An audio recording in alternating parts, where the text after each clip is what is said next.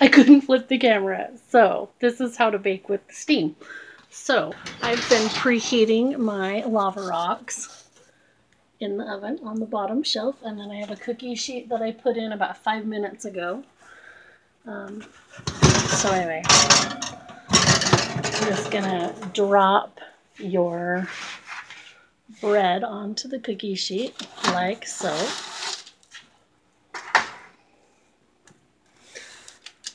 And those are pretty even, I think. They're okay.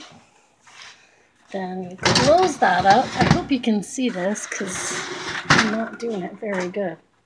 Then you have your water, pour it on your rocks. And then very quickly close it up and you bake for the first bit. And then you just pull the lava rocks out to finish up when you're supposed to pull the lid off. So call me if you have any questions. Bye.